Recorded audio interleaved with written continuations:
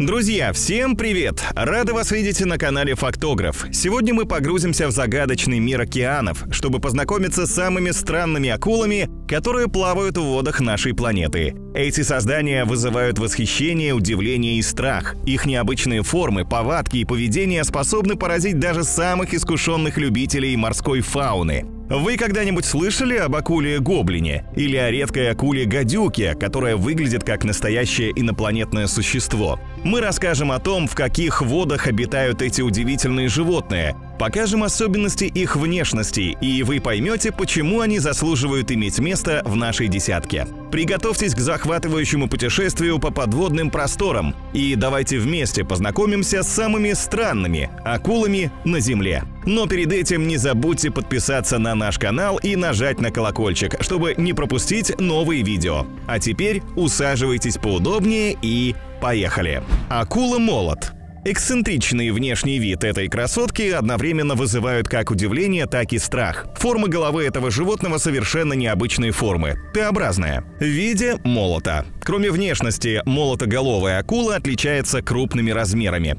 Ее длина составляет от 4 до 7 метров. Акула-молот обитает по всему мировому океану, как в глубоководье, так и на мелководье. Она любит путешествовать. Считается, что схватка с такой хищницей заранее обречена на поражение. Она всегда побеждает. Наибольшую угрозу для человека акула представляет в период выведения потомства потому что для этого она предпочитает людные места – пляжи Флориды, Калифорнии и Гавайи. Случаев нападения на людей зафиксировано предостаточно, чтобы считать акулу молота одной из самых агрессивных и опасных.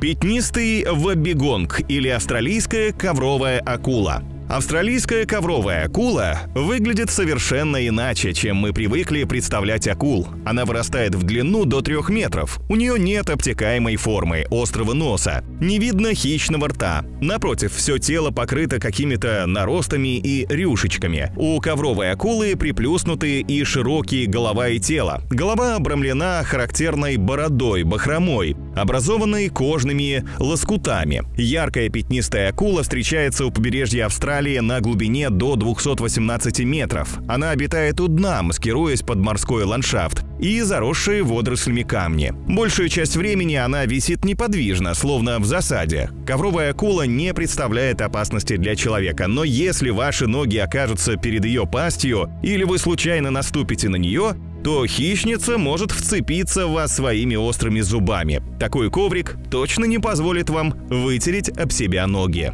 Светящаяся акула-ниндзя Необычный морской обитатель был найден у побережья Центральной Америки совсем недавно, в 2015 году. Американские исследователи дали ему научное название Этмоптерус бенчли в честь Питера Бенчли, автора популярного литературного произведения «Челюсти». Вполне логично, ведь акула-ниндзя выглядит так, словно действительно выплыла из романа ужасов. Она окрашена в угольно-черный цвет с белыми отметинами вокруг глаз и рта. Кожу животного покрывают фотофоры, клетки, обеспечивающие ей свечение в темноте. Люминесценция помогает акулам найти в темных глубинах океана себе пару для размножения и используется для маскировки при охоте на добычу. Однако размеры акулы ниндзя отнюдь не ужасны. Самая крупная особь Особь, обнаруженная учеными, достигла 51 сантиметра в длину и при этом являлась взрослой самкой.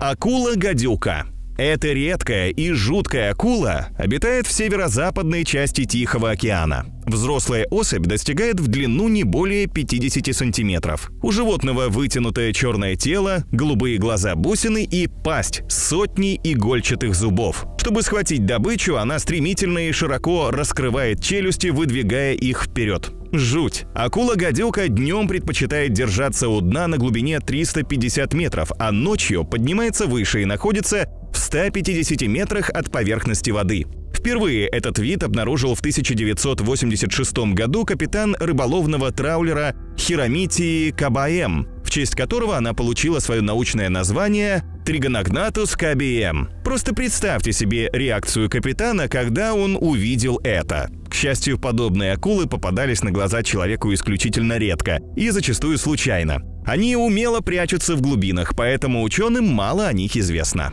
Плащеносная акула. Это опасное и уникальное создание считается царем подводных глубин. Плащеносная акула – потомок легендарного морского змея, и за 80 миллионов лет, что поразительно, она совсем не эволюционировала. Да, эта штука убивала еще тогда, когда по земле бродили динозавры. Внешность плащеносной акулы довольно своеобразна. Ее изюминкой являются широкие кожные складки, образованные жаберными волокнами, которые прикрывают жаберные щели. Этих щелей по 6 с каждой стороны. Перепонки первой пары снизу соединяются и образуют широкую кожную лопасть. Зубы акулы изогнутые в виде крючков, напоминающих якоря, и имеют три вершины. Сама пасть находится впереди головы, а не снизу, как у других видов. Длина плащеносной акулы может достигать двух метров. По счастью, встретить эту тварь можно в Атлантическом и Тихом океанах лишь на глубине от 120 до 1500 метров. Иначе она стала бы кошмарным сном любого ныряльщика. Бразильская светящаяся акула. На вид бразильская светящаяся акула очень милая и, кажется, самая безобидная. Но помните, внешность обманчива. Эта довольно маленькая рыба обитает во всех теплых морях мира на глубине до 4000 метров. Она вырастает всего до 50 сантиметров в длину, но при этом очень кусачая. Бразильская светящаяся акула может нанести серьезные раны животному, которое в несколько раз крупнее нее или даже убить его. Да, большую часть ее рациона составляют мелкие обитатели океанского дна, которых акула может проглотить целиком. Но кроме того, она регулярно поднимается к поверхности океана, впивается своими острыми зубами в более крупных морских млекопитающих и рыб, выгрызая куски плоти и оставляя на теле животных характерные кратерообразные раны. От нападок наглой акулы размером с селедку страдают киты, ластоногие, костистые рыбы, дельфины и другие акулы. А быть незамеченной ей позволяют яркое зеленое свечение, биолюминесценция, которая обеспечивает фотофорами, на нижней части ее тела. Акула дымовой или акула-гоблин. Ареал обитания этих акул огромен и включает большую часть Атлантического, Тихого и Индийского океанов. Они встречаются в водах, расположенных близко к морскому дну, на глубине 1200 метров. Взрослые особи достигают 3-4 метров в длину и весят более 200 килограммов. Но если вы не ракообразный и не головоногий моллюск, акулы-гоблины вряд ли представляют для вас угрозу. Вид акулы-гоблина, мягко говоря, как поражает, так и устрашает. Свое название она получила за причудливую внешность. Морда этой акулы заканчивается длинным клювовидным выростом. А как только на пути проголодавшейся хищницы появляется возможный обед, из ее плоского рыла выдвигаются мощные челюсти. Как она охотится в темноте на большой глубине, есть один секрет. Ее морда усеяна порами, называемыми ампулами ларинцини которые могут обнаруживать электрические поля, исходящие от живых организмов.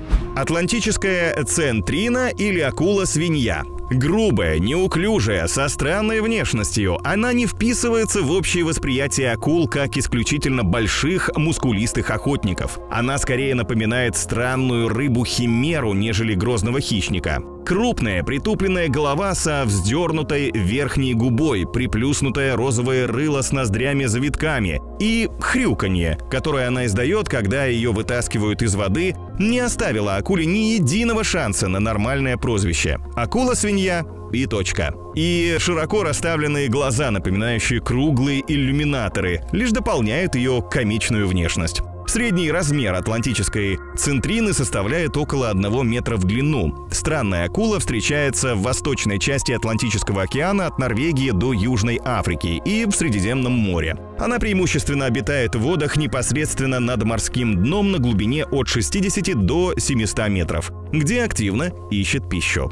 Роговая акула Роговая акула обычно встречается в теплых прибрежных водах на северо-востоке Тихого океана. Свое название этот вид получил из-за короткой тупой головы, почти похожей на рог, с высокими гребнями над глазами. Его представители обычно коричневого или серого цвета с множеством мелких темных пятен на теле. В среднем размер взрослой особи составляет около 1 метра. Также у роговой акулы два высоких спинных плавника с крупными шипами, которые помогают ей защищаться от хищников. Во всем остальном эта акула тихая и скромная. Она проводит жизнь у самого дна океана на глубине до 12 метров, лениво и неторопливо поедая моллюсков. С помощью гибких мускулистых грудных плавников она не плавает, а передвигается по морскому дну течение всего дня акула спит, выходя на охоту только глубокой ночью. Не акула, а какой-то милый домосед.